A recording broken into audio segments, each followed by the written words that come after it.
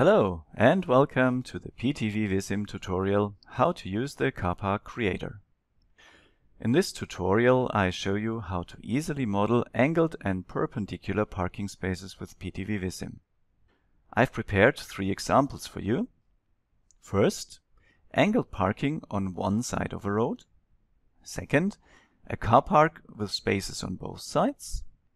And third, an extension of this car park which is accessible from one side only. So let's start. We want to have some angled parking on the right hand side of this road. To enter the car park creator, click the parking icon in the Network Action toolbar. Then click inside the link where the car park starts and click another time at the location where it ends. Flyout dialog shows the settings of the CarPark Creator. Here you define that the parking spaces should appear only on the right-hand side. Now define the angle by dragging the outer edge of the first parking space and drag the space length as required. All spaces of one side share the same length and angle. If you prefer providing the exact values, you can do so too. With spacing, you can add an offset between the spaces. Before closing the car park creator, define the percentage of the vehicles that should park here along with their park time distribution. We use a very short park duration so that you can see more vehicle movements. Now confirm all settings and watch what happens.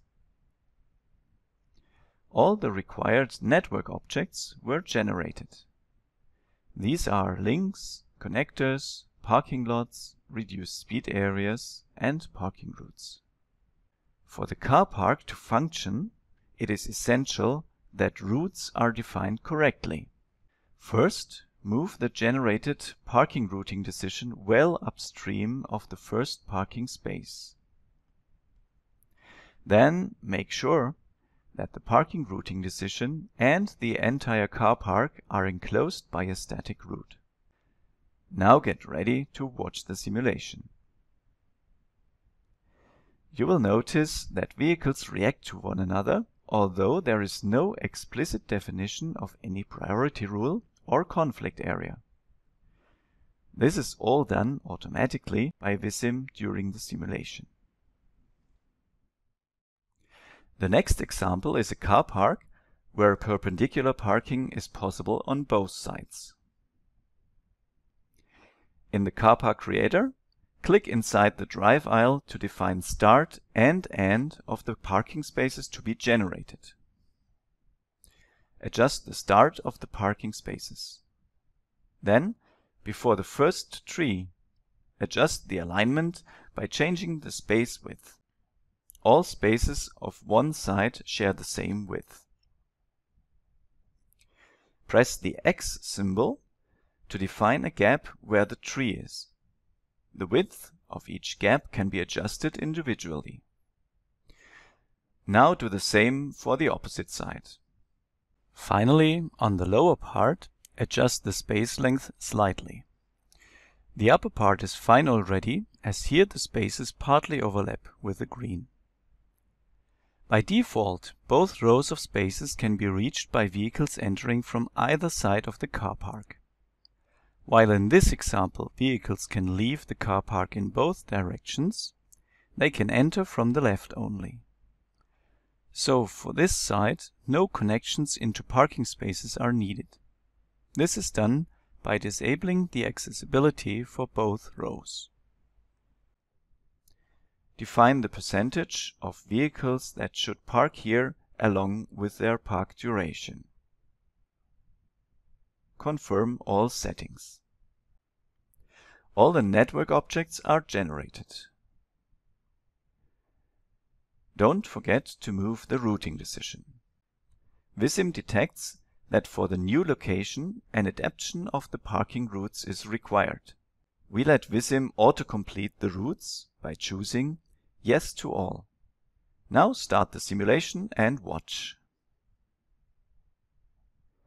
Vehicles now enter the car park and the parking routing decision currently affects vehicles arriving from the left only.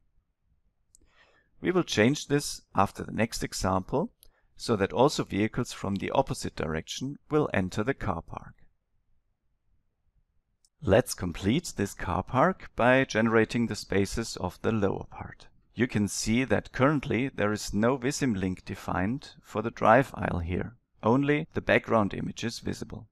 The car park creator can not only generate the parking spaces, but also the drive aisle that connects them. In the car park creator, use Ctrl plus mouse drag, just as you would do to create a new link. Now, you can adjust the aisle link to match its location with the background. Add the opposite direction. As before, adjust the location and dimensions of the parking spaces. There is no entry or exit to the right of the car park. Define this closure by setting the markers outside the drive aisle to dead end. Most drivers want to park close to their destination. In Vissim, this is modeled with the attraction value. The higher the attraction, the more preferred is the parking space. To understand which attributes of the car park creator belong to which side of the parking spaces, imagine the drive aisle of the main direction running in between the columns from bottom to top. For left-hand traffic, the arrow would reach from top to bottom. So, the left column holds the attraction for the upper row of spaces.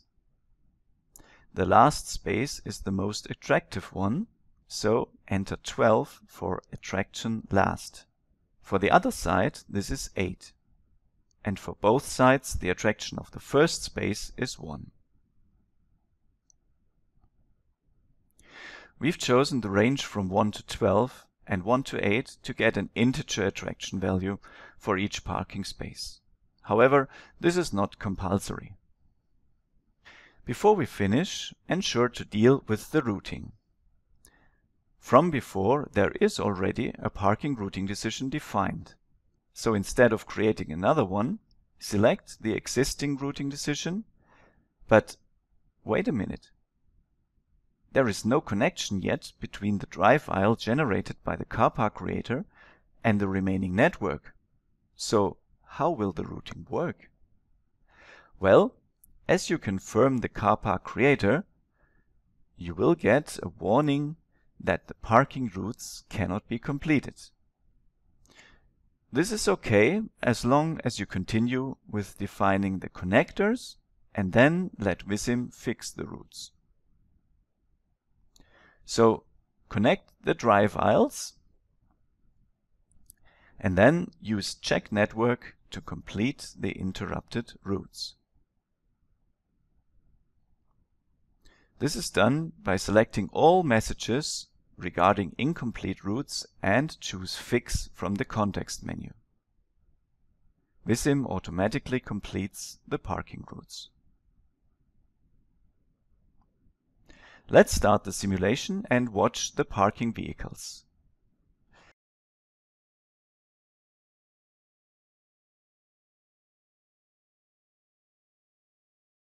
You notice that the lower part is filled first.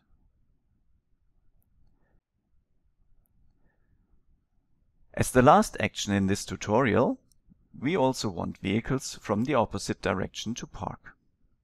Therefore, duplicate the routing decision and move it to the link for the opposite direction. Ensure to move it upstream of the car park exit to avoid that exiting vehicles will enter the car park again. Confirm the automatic route completion. Toggle to wireframe mode to double check that the routing decision is upstream of the connector exiting from the car park. increase the parking duration so that we see vehicles parking in both parts of the car park. Now the car park is used by vehicles from both directions.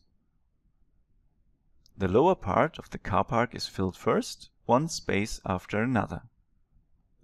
Once the lower part is full, vehicles start parking in the upper part and choose their space randomly.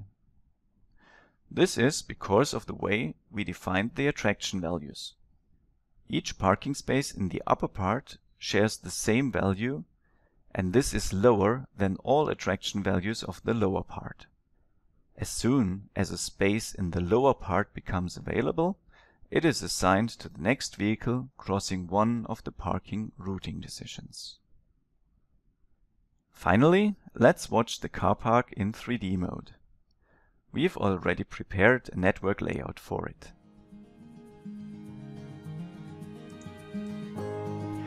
So we've successfully finished the car park. You're ready now to continue using the PTV Vissim car park creator in your own projects. Thanks for watching.